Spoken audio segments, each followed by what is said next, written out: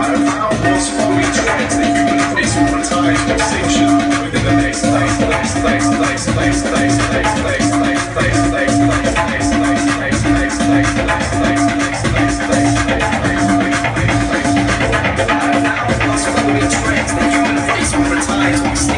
Within the next thousand years.